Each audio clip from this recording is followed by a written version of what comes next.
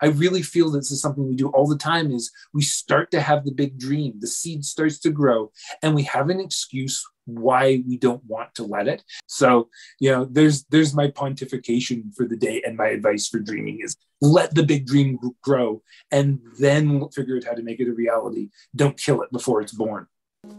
Hello dreamers, my name's Lisa and I'm the Dreamwork coach. Today we are here with Dylon Whyte, who is a dream worker, a dream caster, and a wizard.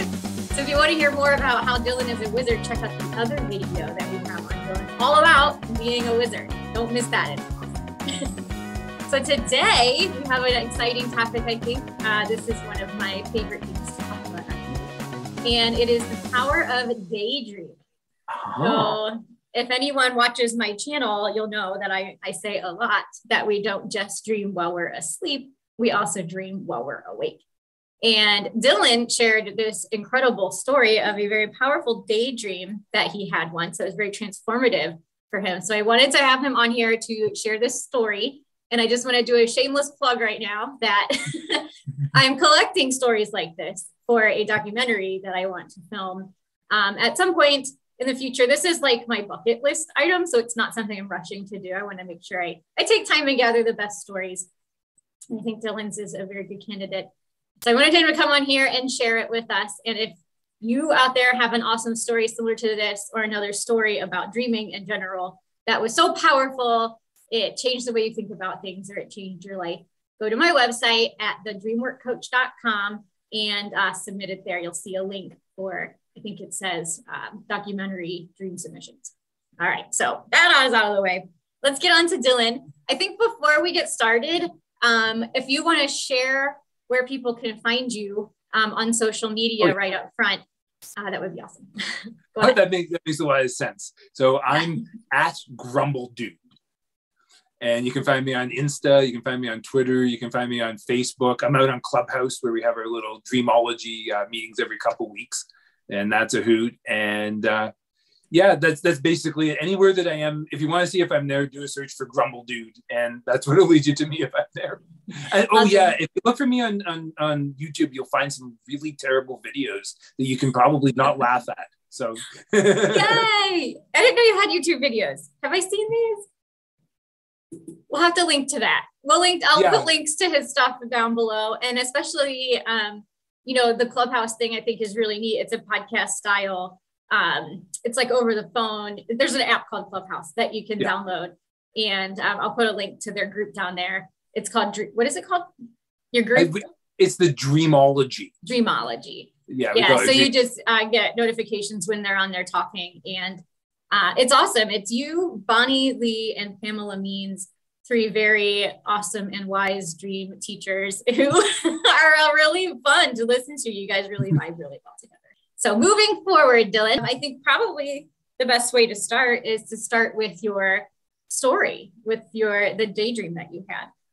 Sure, sure. That this is uh, one I'm trying to figure. Uh, I get messed up. I'm I'm not the best at math. It's go, coming up on 14 or 15 years ago now when I hmm. actually think about it. Mm-hmm. Um, it started with a really bad day, and it was just, just I I was inside my head. Nothing was going right. But for whatever reason, it was sunny. It was the summer. It was in July. We decided to go down to the beach. So the, the island basically has a few um, summer or, um, or, public beaches or swim places. Sand isn't common here, but the one that we decided to go to is one of the larger public sand beaches. It's mm-hmm. called Providence Bay and it's, it's a really it's a neat, uh, neat place uh, one of my favorite places on the island. So we drove down there and i don't know i went out in the water and the best thing that i could think to do to entertain myself was just sort of float on my back. And you know how you can sort of get the water just at your ear level so you're mm-hmm. not really the outside world. And i probably had my sunglasses on too so i had a bit of shade on my eyes just trying to like drown everything out i guess. And i started to go through a, a, story in my head. And this is something that's really interesting, I suppose, is like if you have an experience where you you go on a journey in a dream and it's very lucid and you're there, then it feels like you know something. And then the other end of that is something that's just this quietest little story in your mind that yell you have to slow down all the other noise to even start to hear somehow that's what i was doing i was tapping into that quiet story mm-hmm. and it started to tell me about going to the river styx kind of like in traditional greek mythology which is something that i'm sort of familiar with and the idea is generally the ferryman uh, charon or charon or however you pronounce it i don't know because i live on an island and i'm not ancient ferryman you'd usually have a coin for him. And for the coin, he would carry you to the other side over to uh, Tartarus or the world of the dead, where you would get your reward or your punishment or whatever it was. I think bad people went to Hades, heroes went to the Elysian fields. There's all different levels of it. I don't know, like, okay, my Greek, ancient Greek is mythology is like, but I, I knew this. In in my story, I didn't have a coin.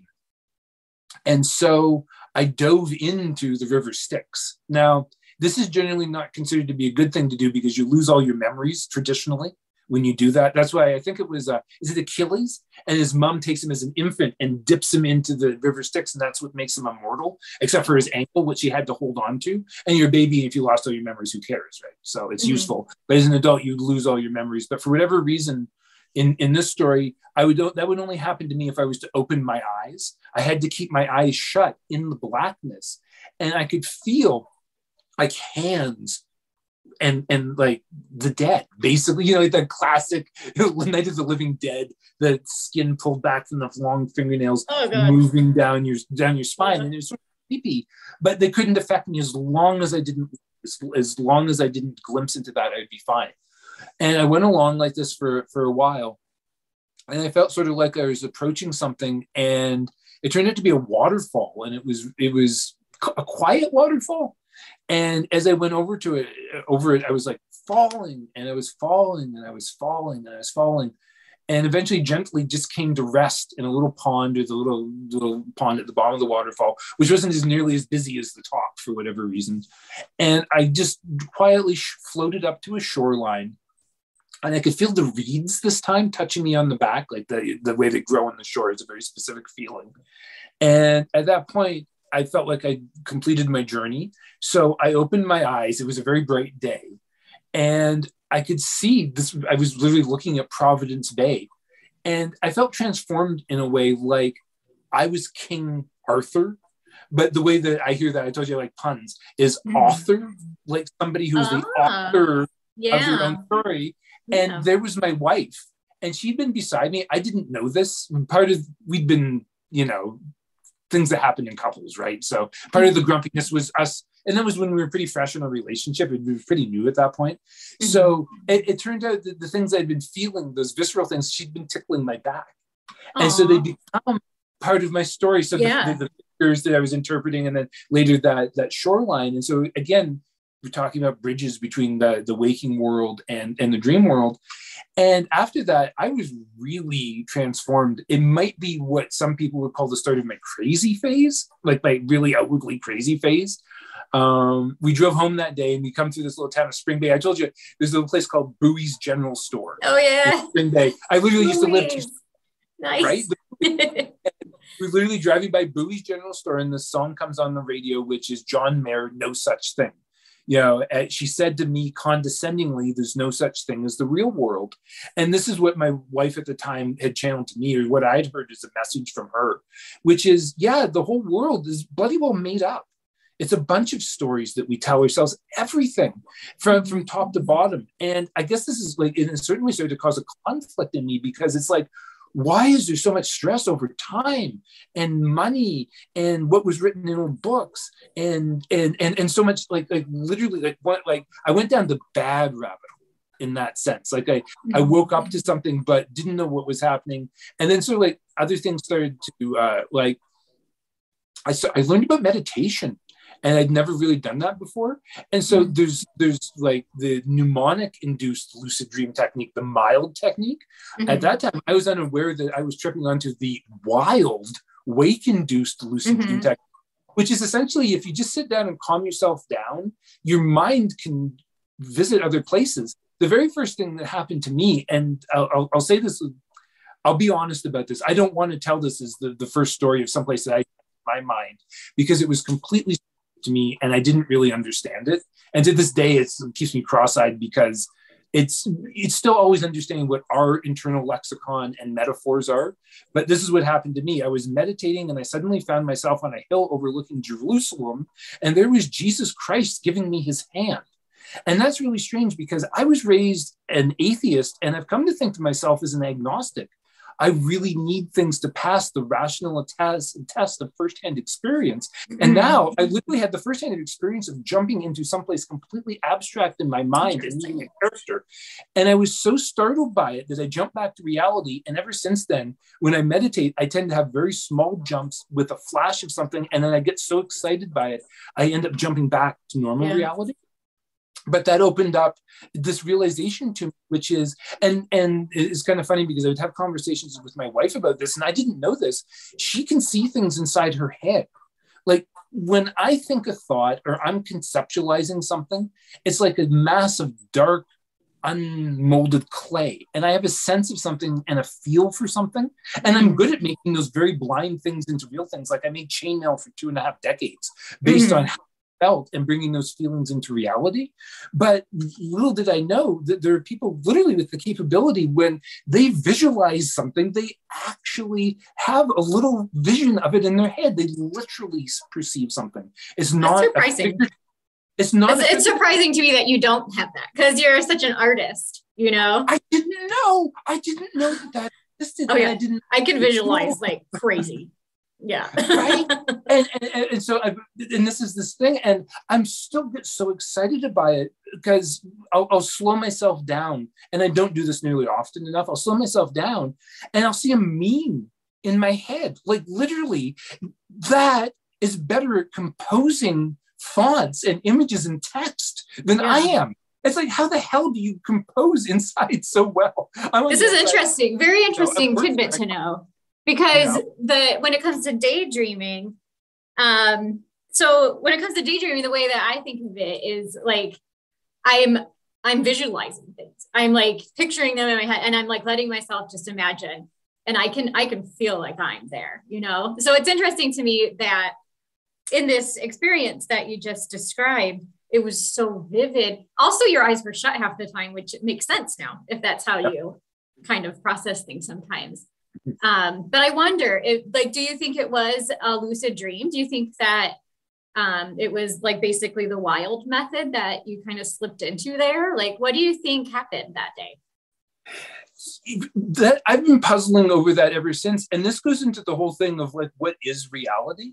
Mm-hmm. Like, initially, when I was trying to puzzle this out, I had to start wondering, did I drown? Yeah. And it's like literally this this sense of rebirth that I step into an afterlife. And since that point, have I been going through an experience which is like a purgatory of sorts where I where it's like uh, like my energy the energy from my life was was so energetic, for lack of a better term, that into my death it is carried on believing that it is alive, mm-hmm. you know, and, and, and, sort of skipping through. And I've like essentially maintained a reality tunnel. Yeah. And, and but I had to come back and sort of like try and reconcile stuff like that and look for, you know, for example, evidence, or at the same time, also not lead myself to a psychiatric hospital by getting into a state where my reality was was was breaking down. Or you're walking around saying, "I'm dead. I drowned." Yeah, that would put you there pretty quick. Yeah, someone would submit right? you. Yeah. so the, the, thing that I honestly came up with, and and that works for me, is just being the author of my own story. And in a sense, what I'm talking about, maybe in a slightly abstract sense, is just awareness. I'm mm-hmm. aware of what I'm doing when I'm telling myself a story about something. I heard a great version of it, or I saw a great version of it in a meme once where somebody was like, somebody was getting down on the fact that they used crystals and rocks. And they finally told somebody off. They said, Get out of my space. I know I'm making up a story about this piece of sodalite, but that's what allows me to focus my energy through the piece of sodalite. So, you know, mm. get off my toes and just let me do my magic the way I do my magic. Right. And so there it is. If you're aware of the story you're telling yourself, it's so much more empowering than following along a story where you're out of control. And there's like really distinct clues for that when you find yourself saying things like, I had no choice. Mm-hmm. You, there's a huge fucking warning sign that something's going down.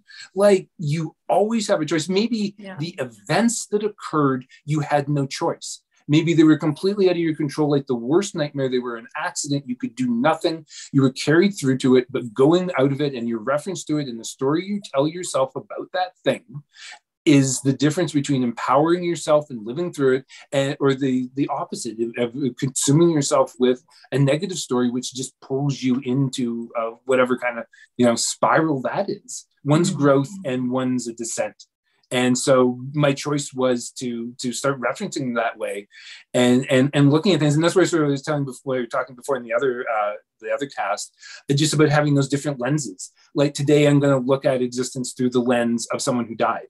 And mm-hmm. tomorrow I'm going to look through the lens of art. And the next day I'm going to look through the lens of, oh, I got to pay my bills today. because we do have to do that stuff still. Because those things are also part of like, it, it's in a, the balance between all those things. And that's like I was talking about the, the sign before that's half real and half, you know, and the mm-hmm. whole idea of the liminal space, like everything comes back. Uh, there was some other thing that I don't know where I even got the idea from, but they said just like in the mathematical sense, if you took the smallest thing that we understand to exist and the largest thing, so like a, a quantum particle and the extent of the universe as we know it, mm-hmm. the scale where we exist between those two points is almost the middle in terms of in terms of scale because it's it mm-hmm. scales exponentially. So naturally we're already occupying middle ground and then you start to trip on these philosophies about controlling your views of that middle ground and, and then finding the middle way in your path and you get into like i don't know confucianism and and mm-hmm. buddhism and and taoism and, and all that stuff and it starts to clue you in these ideas they're just different ways to run your your mind I came across a book and it sounded so magical. I thought, oh, this is going to be it. I'm going to finally know spells that'll make the air sparkle.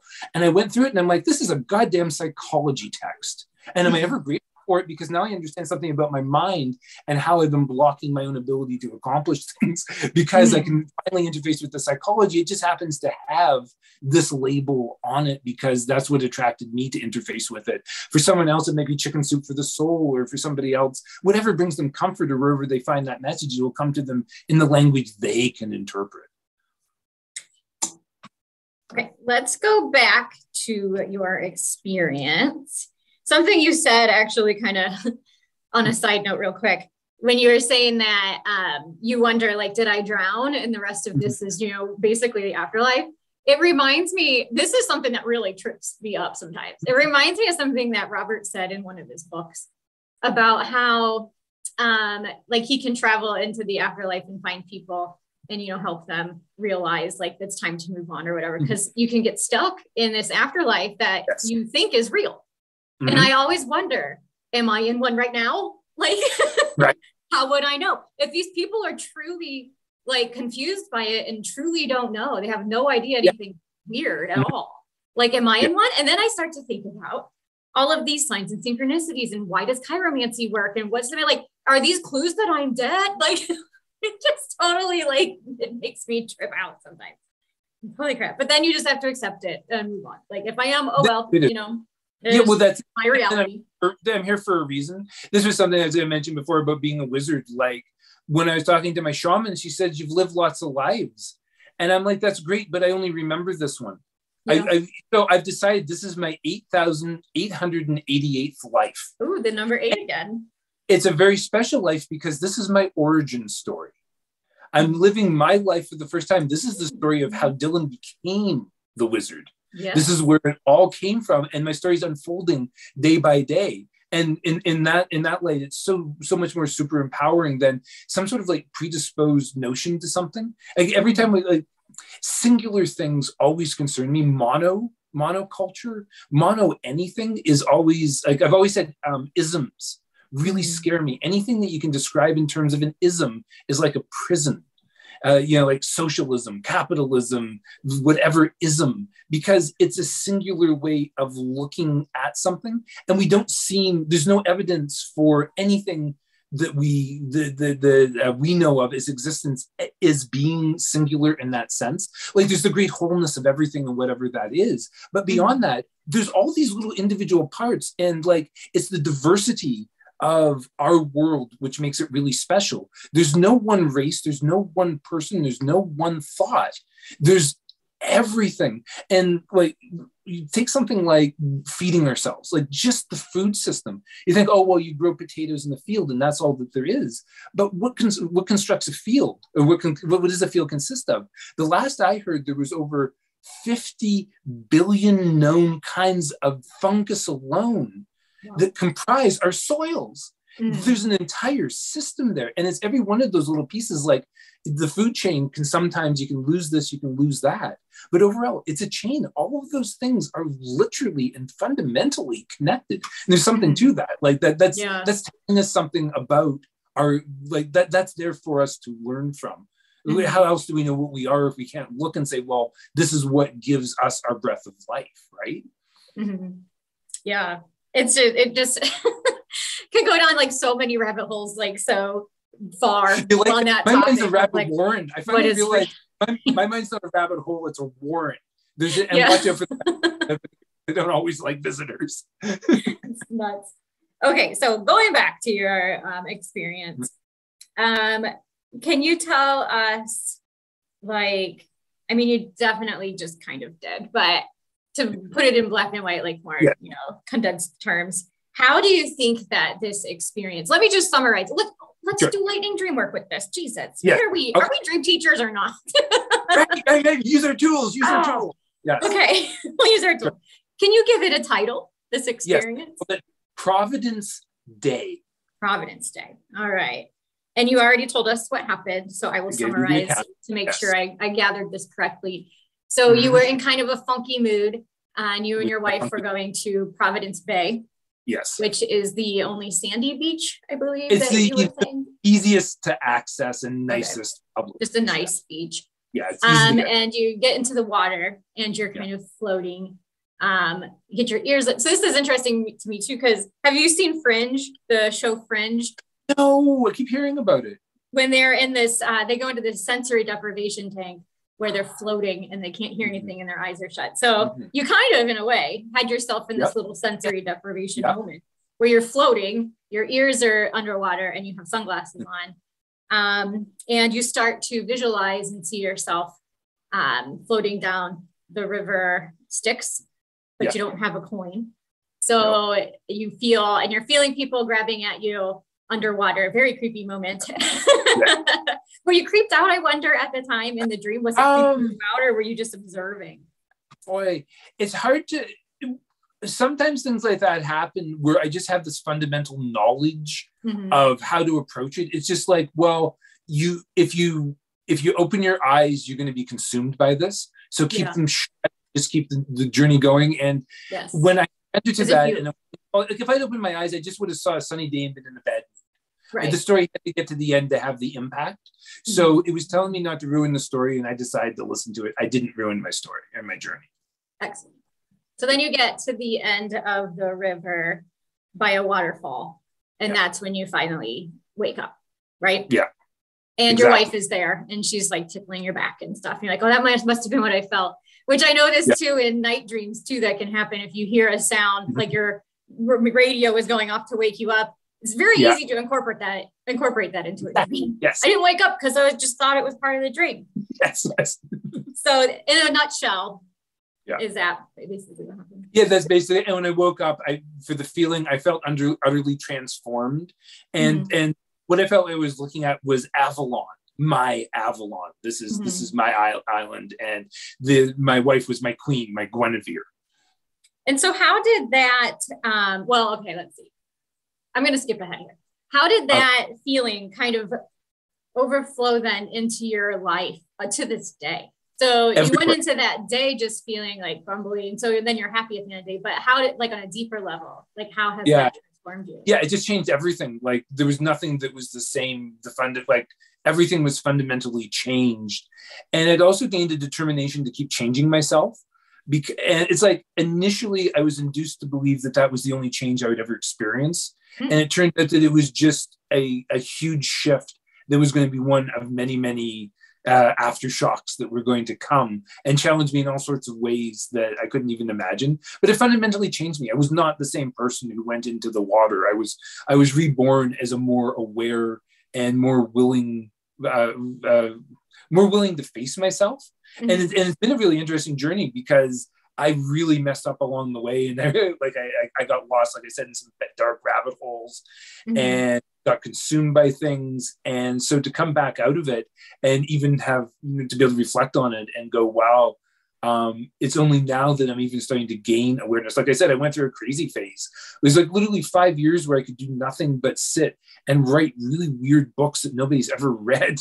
I had no capacity to sell, even though I was sure if just the right people could see them, the whole world would change and everything would be all right. And just like like the bad daydreams, mm-hmm. the the ones like the and when I say bad, I guess there's no word for a nightmare version of a daydream, but the way that I, I, I felt the uh, the good description for a nightmare was is it's a night dream that's out of control. Mm-hmm. So a daydream that's out of control is one where that idea is completely taking over your life without your awareness of what's happened. And and that was what would happen to me. Like I just have these amazing ideas, and I was so convinced it was just the one thing that we had to do that was going to change everything. And to the point where people around me were really being challenged to even put up with me and my, wow. you know, oh good lord, Dylon's and another one of his crazy schemes. And we're actually going to have to entertain his energy because he's going to be really enthusiastic and manically excited about this thing as well. Yeah, yeah it was it was a very it was a very embarrassing time. Like I I it and obviously there was a lot for me to work through. And it helped when I finally got into the shadow stuff because that's where it all was. And it was funny too because I started to and like I had a whole analogy analogy going one time as our mind is being very much like the crystal that powers a lightsaber. Mm-hmm. And depending on your type of crystal, it will form the type of blade you have. And maybe that's even reminiscent of like auras that people can carry. Interesting. And so I would I would view myself as a crystal. And one point I realized I'd done very good at clarifying this crystal, but there were still problems with it. As at certain angles, there were still shadows and imperfections that I didn't know how to work out. And it took years of digging to understand the effect of those things, subconscious behaviors that I could have never even hoped or had a chance with if I hadn't been willing to really face up to a lot of stuff and go, oh, good grief. Like I remember this time and now I see the wake of what I did and what I, and oh, holy crow there's a lot to there's a lot to go back and own in that thing. Yeah it sounds like you really are in a lifetime of like an origin story. You know it sounds like you're in a very transformative whole entire life like your whole life sounds like you've been really like you've gone through long periods of transformation and like to be able to look back and like oh my gosh I, I used to be like that. Like you've come a long way. I can oh, relate oh, yeah. to, to a lot of that. Um all right i was gonna say something and i totally forgot so it must not have been important so we'll, we'll just go ahead and Yes. Um, okay. So this, I mean, I just, I'm trying to wrap my head around how to explain how cool this is like an experience like this, that it can happen to anybody. Because most people, if they watch this and they're even able to comprehend what we're talking about, because they're yeah. like daydreaming, what? What do you mean? Yes. Like that it, they can do it too. And I'm wondering if you have like any advice on how someone, it's very similar to journeying, you know, yes, um, and just letting your imagination go. Like your in, in, your yeah. example, you didn't really have an intent because it was spontaneous. No. Yes. But like if someone really was like, man, I'm really down in the dumps, I really need something transformative. I just need an experience. Like, did you have any advice on how someone might be able to pull that off? Oh yeah, absolutely. Uh, that's why I chose this background today. As a matter oh, of fact, nice. I, well, it's kind of interesting. Like in Doctor Who mythology, there's the TARDIS, which is where I am. This is the control room of the TARDIS. This is where Doctor Who travels in time. Mm-hmm. And the hmm. amazing thing about a TARDIS is that it stands for time and relative dimensions in space. Essentially, it's bigger on the inside than the outside. And it doesn't necessarily move anywhere, it's just open a door to where you want to go in space and time. So, in, in one way, to me, it's completely analogous for my mind. My mind is much bigger on the inside than it is on the outside. Like it's mm-hmm. limited here, but on the inside, it's it's infinite. And the more I feed it, the bigger it can get. So there's there's something like this interesting characteristic, and I kind of like to think of it as a what if machine that respond like for me just personally asking what if questions generates the most interesting responses like seriously i did a what if once and I birthed a like uh, what I call an omniverse. So you have a universe, and a universe exists as one of many multiverses. but the thing that contains all the multiverses is an omniverse, Ooh. right? Because it's omni. It's the the thing that can. Not that there couldn't be many omniverses. I was gonna say. I was just gonna say that. What's Omniverse. many omniverses called? right but i had i had an entire omniverse basically wake up inside of myself for one question in the what if machine and it was really simple and to this day like it's it's become part of my self-referential inner mythology but here, here's here's my real trick for it I, I got a trick and i stole this one completely from robert and here's an exact example of the kind of person i am he was talking about his book called dream big dreams or something like that Mhm. and as opposed to like actually reading it, I just stole the title for one of my own little observations on something. And, and this is a story about like the dreamer and the critic. Mhm. As a daydreamer, I love to just go off on a wild daydream and see something which is huge and expansive. And the thing that consistently spoils that for me is the critic sitting in the co- corner saying that will never get off the ground. There's not enough fuel. There's circumstances that are against that. By the way, there's a law of gravity, so you can't really do that with a rocket, by the way, or something else. Like they interject reality. Most often for me, and this is one of the things I've noticed is like, like a toxic infection is there's no reason to pursue that idea because you don't know how to make money off of it. And I that one I'm so toxic with that one. I, I've been doing my best to expunge it, but that critic still shows up all the time. Mm-hmm. So I've come to I've come to an agreement at this point, which is you allow me to dream the big dream, which is means I have the dream and I let it grow to the farthest extents that it wants to grow to. And then when I'm ready, you and I are going to sit down because critic, you're the best editor I have. You're the one who knows how to take that information and actually bring it into something which is reasonable. So the, I think I used an example in one of our podcasts. I said, like, one of Dylon's ideas is I need a choir of 100,000 angels. We need the planet Jupiter. And okay, we're going to need an entire sea of Coca Cola. Okay. and it's like, so that's this is the dream I want to bring to life. So when I sit down, if the critic's like, okay, that can't happen on many levels, right? But if I have the big dream, I see the whole vision, then I sit down with that critic and I was like, okay, how are we going to make this happen? Well, what we're going to do is we're going to put out a thimble and there's going to be a speaker underneath it. And that's our representation of 100,000 angels in a choir. For Jupiter, I have a hubcap and a can of glittery spray paint. And in terms of the sea of Coca Cola, there's a bird bath, and I'll, I'll spend the $2 a uh, budget on pouring, you know, in some Coca Cola. And maybe at the end of the show, I'll throw in a Mentos to make a mess so it's funny. And so there's how, and something that is so necessary because I really feel this is something we do all the time is we start to have the big dream, the seed starts to grow, and we have an excuse why we don't want to let it. Now, it's not to say that it, we couldn't develop a pause button. You couldn't say to the dream, like, oh, you're a big dream. Would you mind waiting a couple hours? I really have to finish my homework or my noodles or whatever it is. That's fine. But come back, allow the dream to go, and then let the critic. And I, I, I honestly feel like I could make like some kind of grand statement, like if the majority of the people in the world who are making decisions went from that angle at allowing the dreams to grow and then figuring out how to do them practically, we'd be in a lot better position than it appears that we're in at this point. So, you know, there's there's my pontification for the day, and my advice for dreaming is let the big dream grow, and then figure out how to make it a reality. Don't kill it before it's born. Mhm. I like that. That's actually very practical advice.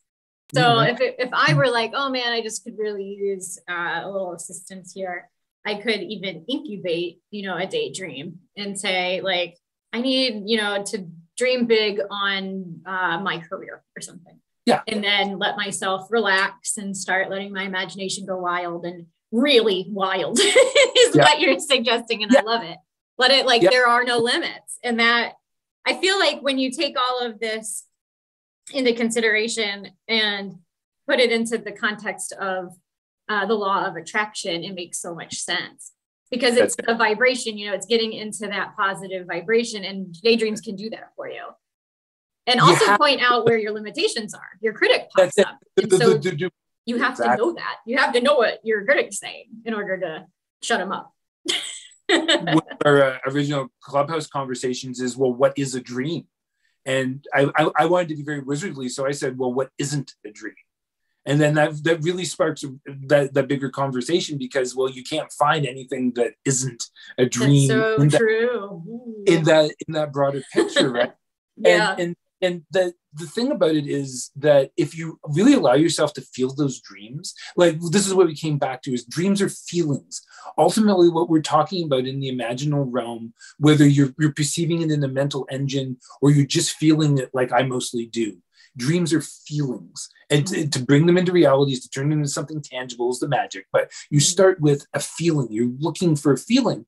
So if you want the feeling of your future career for example and you don't even allow yourself to feel really feel what that is how can you send that internal guidance mm-hmm. engine the message? Because when you say something like i want money well that's just it's just an abstract. Well you could say i want money for a reason now you're just creating a condition and a complication to something, and you're not sending a clear message to whatever can make that happen. But when you really let yourself feel mm-hmm. it, I started doing this and I left myself in tears because I did something that I had never done. I allowed myself to feel good about something that I didn't think was possible mm-hmm. in terms of a whole bunch of stuff in my life between living or just, you know, this is my bucket list living on a podcast with a professional YouTube broadcaster. Isn't this just the most amazing thing, right? Here I am living the thing that I visualize and I can really feel it. And mm-hmm. I, I, feel like allowing myself to have those feelings is what allowed or opened or facilitated this happening. Before this, mm-hmm. I couldn't really, I feel like my energy would have ruined this in some sort of way because you can also attract that sort of thing. If you're not ready for something, you can create a storm around yourself that will protect you from it. And rightly so, because that's what you asked for. You mm-hmm. wanted to shield, you wanted to protect it. So that day, you know, instead of um, you know Lisa's coffee cup and mouse pad showed up, but the laptop. you, you, know, you, know, the computer is, you know, the, yeah, and that's basically how it would happen, and it would be your hard drive would have crashed. And I, I told, mm. mentioned before, doing uh, connecting very strongly with uh, technology and that's how a lot of things would express myself. There was the morning I told you I talked to a shaman. I nearly knocked at the internet. I was so excited. I was writing to her an hour before the meeting, like, I'm sorry, I don't think I'm going to make it. The internet's down. And I had to take a deep breath and allow the space to happen before I could even make the connection. Mm-hmm. And there's a, there's a, lot of stuff like that. You know, when you feel like everything's going wrong and, and it's really, it's, probably because we're generating some sort of field that's protecting us. It's it's a mm-hmm. good thing, even though we feel rotten about it. We didn't yeah. really mean somebody's fender on the highway, but it protected us from something else that we did. You know, I really didn't want to go to that meeting that would have opened up my career. Mm-hmm. on some level, you know, I was afraid of it for some reason. And it will attract stuff like that. And, and, it's strange because I think there's a lot of buzz that goes around that whole law of attraction thing that just goes off into what would be labeled as positive toxicity these days or something mm-hmm. like that or toxic positivity is what i've been accused of when mm-hmm. i try to talk about how i will motivate myself like something really shitty just happened and i'm going to tell myself a really empowering story about this and people are like are you friggin' nuts like your car's in the lake and you know you, your insurance canceled and you know yeah. like this is really terrible and it's like i refuse to look at it this way because mm-hmm. i know i could look at it the other way yes i could and and that would just feel shitty. I'm going to instead, yeah. I'm going to be a wizard and I'm going to rewrite my reality. And that's mm-hmm. sort of the story that I learned on the beach that day was the, the power of being able to do that. Like, and, and it gets into a whole story. Like if you really want to get into deep philosophy about free will, maybe I never could change any of the events of my life except for my attitude towards them there was the thing i did have the ability and it's it, like it's one of those things that really tests my patience when you come up with an attitude which is somebody who's uh, possessing like i can't change something or it's out of my control to change something because mm-hmm. at that point you're attracting that that thing to yourself you're attracting yeah. something that you can't change because you're literally saying it out loud that you can't change it so it's going to manifest for you and it's a subtle thing, and it sounds like like I always use the word woo woo. It sounds like sparkles and crystals and things that you want to write off as a bunch of new age BS, but it's like mm-hmm. there's a mm-hmm. really practical lesson here. Like there's something deep. We went deep into the rabbit hole before. This is this deep and is because it's so simple and it's still on the surface. We look so deep for it, and it's mm-hmm. right under yeah. I can't see under my nose. This is the best place. If you want to hide something from me, I can't see it.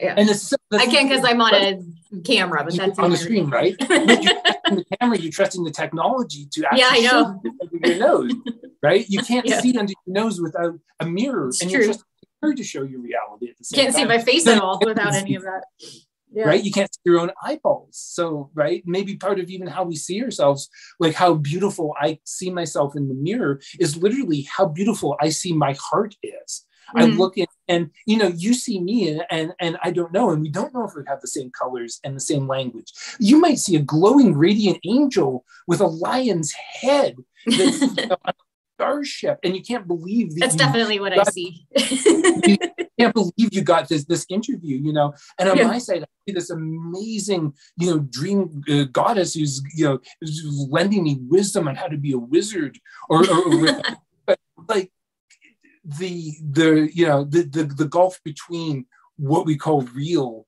and what is real is i don't mm-hmm. know lost now and there's how complex the story is it's so simple it's, mm-hmm. it's, it's right there for us, and we always want to go and make it deep and find a reasoning, and we're and we're so sure, and and maybe it's a lot more simple than that. Maybe it's right on the surface for us to find.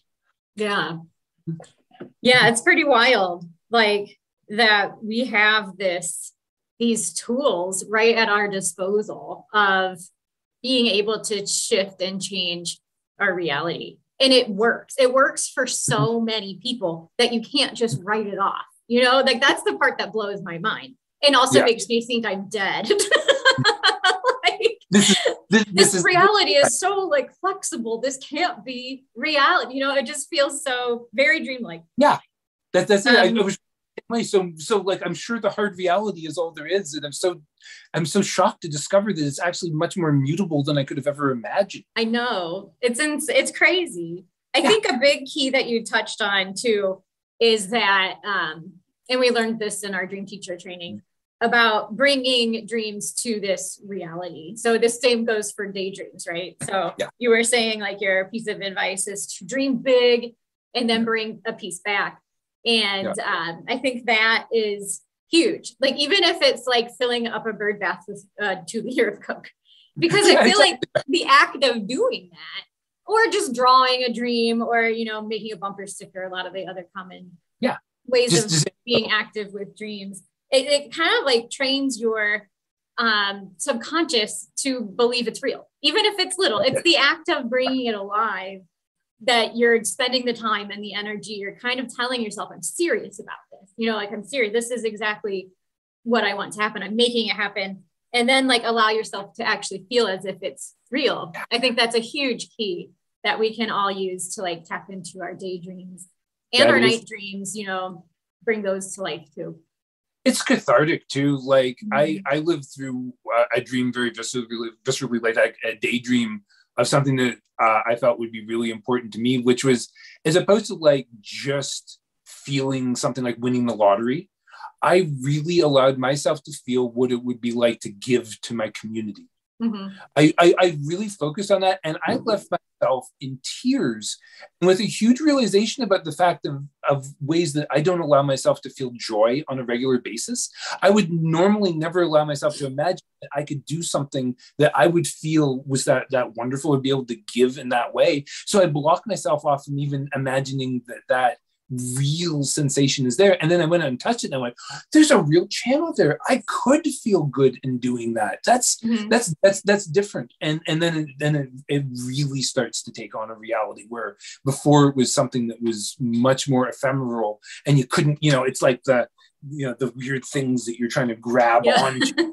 They're not you know you can't quite get a grip on them when you got a feeling like that and you can go wow then that's a dream that you can really follow. And it's when it's mm-hmm. worth manifesting in reality. Like I have lots of what I'd call shit dreams that are are wonderful. They're messages for me or they're whatever. I, I, I don't know. They amuse me. So so great. I get a smile out of them, right? Mm-hmm. I bring one life a day and it seems that I have a community that enjoys sharing just abstract dreams without any like really great purpose to them. And so mm-hmm. there's like this is my way that I can do it. But like as a larger entity being like the living embodiment of dreams and doing these things like it's, it's interesting we talked about the character of charon well that's what you call a psychopomp and a psychopomp's job traditionally was ferrying those souls that didn't know they had died to the other side. I actually had a dream about this. It was one of the most amazing dreams I ever had. And to me, the perfect analogy for the sensation of ultimate kairomancy. I called it um, me becomes death and basically, I, I woke into a dream where I'd been assigned the job of being death for the night wow. that death was the holiday. Mm-hmm. And what that involved was just being dragged around the world at lightning speed because death doesn't need like an invitation. They just show up where they need to be. And mm-hmm. that's kairomancy is being where you need to be when you need to be there and recognizing mm-hmm. that.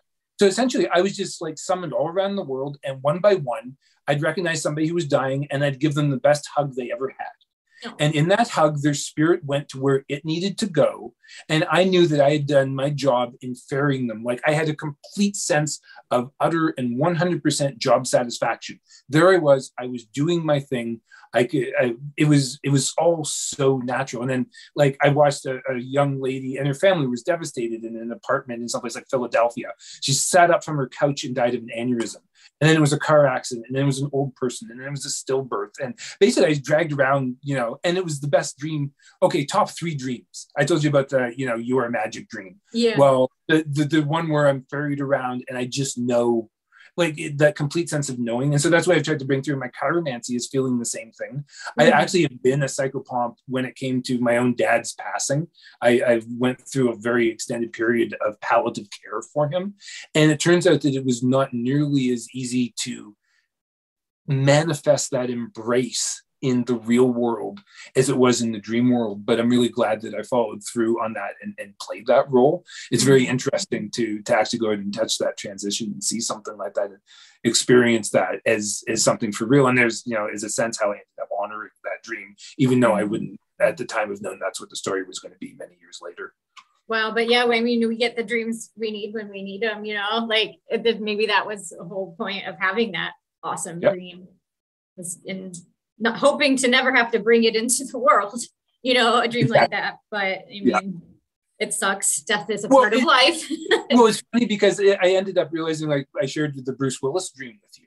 Yeah. And it was basically the same technique I used on the evil enchantress, like the hug of love when mm-hmm. you you know and there's like my my ultimate dream defense when it's the worst monster when it's the worst situation when your worst nightmare is facing you right in the eyes and you can smell it and feel it give it a really big loving hug and embrace it as part of mm-hmm. yourself and that is the most magic transform uh, transformation that uh, transformational experience that I've ever come across. It, there might be others. I'm sure that mm-hmm. there are, but that's the most transformative I've ever come across, and that's my default. I had a really bad nightmare a few nights ago. I talked about that in one of the dreamologies, and I used the exact technique, and I ended up waking up gently in my own bed instead of like startling out and falling on the floor. And I was like, oh, "This is neat." And then afterwards, that lightning dream work, I just it was the middle of the night. I went to the bathroom, and I'm like, "I'm no way I'm letting my worst nightmare." rule any part of me first thing that dream gets a title how to turn a bad dream around now mm-hmm. all of a sudden I'm in control of it and it doesn't own me anymore at all. And then mm-hmm. I went work through it. I knew what it was telling me. I figured out how to honor it and I, I went forward with it. And and there it is. And that's the that's the real intensity or the real empowerment that comes out of realizing that you're the one that's writing your story because I could have taken the same experience and still be scared and reliving it over and over. Mm-hmm. Yeah.